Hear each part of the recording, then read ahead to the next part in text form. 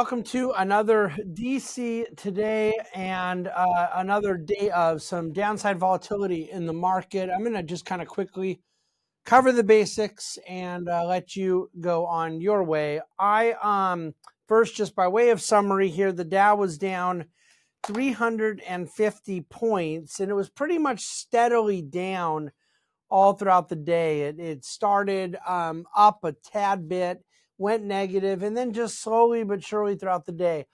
In the final um, hour, I think it did get close. I'm not sure if it hit down 500 or not, but we were doing some uh, tethering of client cash down 480 ish. So it was very close to down 500, and then it closed down 350. So you got a 150, 130 point uh, bounce at the very end down 1%. S&P was down close to 1.5%. The NASDAQ was down exactly 2%. So it was, again, kind of on a down day of 2022. This was a more normal down day where all three indices were down. Dow down the least, NASDAQ down the most. You know the deal. Now, the part that has been unique with this recent market uh, sell off relative to the rally that we have been in for the last couple months is uh, that today um, and this has been the case now for a full month, the bond market is in quite a rally. And so today the 10 year was down um, six and a half basis points.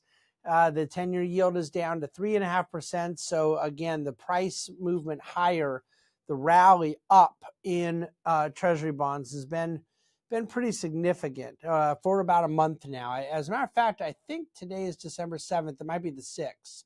Yeah, it's a six. Um, it started on November 7th. So, so we've really seen quite a rally here since uh, the last month. Utilities were up on the day today. That was the only sector that was up. It doesn't get much more defensive in theory than the utility sector. And so you had one defensive sector that was up on the day. And then let me look. Um, the consumer staples were second best, and healthcare was third best. Real estate was fourth best. Those other three were all down um, anywhere from 68 to 78 basis points. But again, the defensives were the leaders, and then the cyclicals, energy, communication, you know, energy was down two and a half percent, communication was down two and a half percent, technology was down over two percent, consumer discretionary, which got pummeled yesterday, was down another 1.6. So again, you see um, the priority in market being on the defensives and cyclicals taking on the most downside crude oil was down 3.3%. It's back down to $74.34 a barrel. Um, that's a remarkable drop in crude prices. And um, yet, you know, people are asking how come oil stocks have done so well with this oil turn down? And I think that that is a very fair question. And it really does speak to a market dynamic I just want to quickly explain, and that is the concept of future expectations.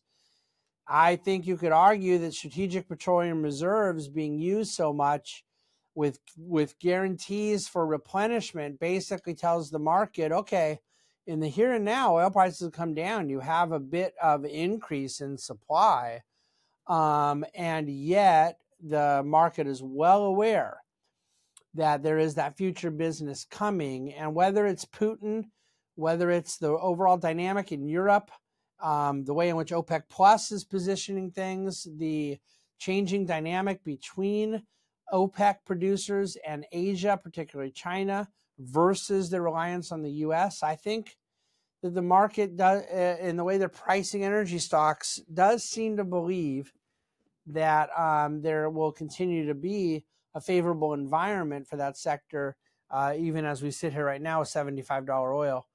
Gas prices, by the way, when you talk about the gas you put in your car, um, this is just remarkable that uh, gas prices are basically now very close to flat on the year.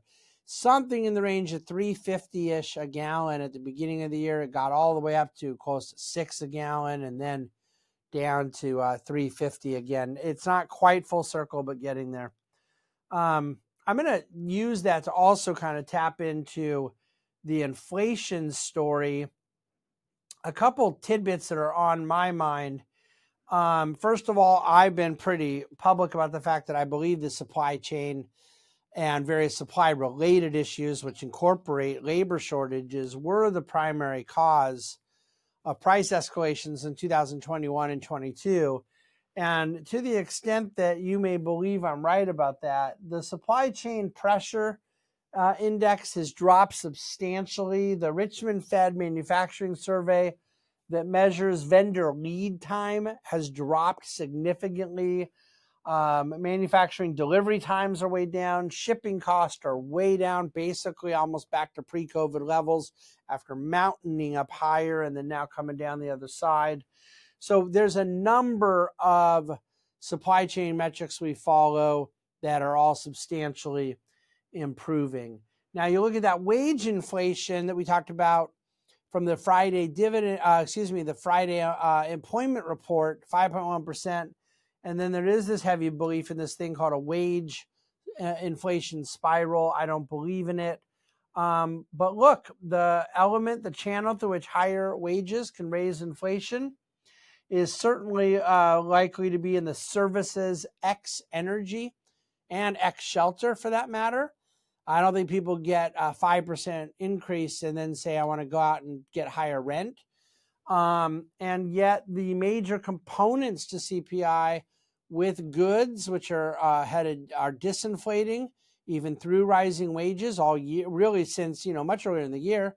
Food and energy is much um, uh, uh, separated from from wage levels, and then the shelter side, which I have argued for a lot of reasons, many rate sensitive and many uh, valuation oriented, that shelter's coming down. So I just don't believe that we're looking at price inflation through wages. Um, all right, there's more I could say on the inflation side, but I, am going too long as it is. So, bottom line, um, in terms of the day, uh, let me pull up my notes here again. Ba, ba, ba. What did I do with them? Here they are. What else did I want to go through? The economic data. The Business Roundtable CEO Outlook Survey. Um, it's at its lowest number since the third quarter of 2020. I was surprised by that because it was still well into expansion territory. So it's way above expectations for break even. Um, but nevertheless, the grimmer relative outlook compared to how CEOs felt about business conditions and economic conditions a year ago or, or a year and a half ago, definitely on the downtick. Trade deficit came at 78 billion in October. That was quite a bit less than the 80 billion expected. Um, you know, when you talk about 2 billion on trade deficit, that's a big movement relative to expectations. But I would just look to the total trade number, imports plus exports for the United States, and it's up 13.7% versus a year ago. You know, that container ship debacle has largely subsided. Uh, but I still think you're dealing with Russia sanction, Russia tension issues on the margin. And then certainly less on the margin, more substantive continues to be China COVID policies. Yesterday's big sell off, the eight, what the downside breadth, the uh, decline to advance ratio was eight to one. So, you know, nothing we haven't seen 50 other times this year, but pretty substantial. Um, and we'll watch the Georgia election tonight again. I don't, I don't think that um, it's very likely that there'll be a surprise, but you know, until it gets called, there could be. But I expect a 51 49 Democrat Senate after tonight. That's all I got. I'll leave it there. Um, I think President Biden's announcement with Taiwan Semiconductor in Arizona today, more chip manufacturing in the States. I think it's a big deal. I was on Varney talking about this morning. I think it's not at all surprised they want to do it in Arizona versus certain other potential cities and states. And yet, um, you know, I, I don't believe the CHIPS Act was a good piece of legislation. I think it's largely corporate welfare, but that's a lot of money that I don't think Taiwan Semiconductor would be spending in the States without it.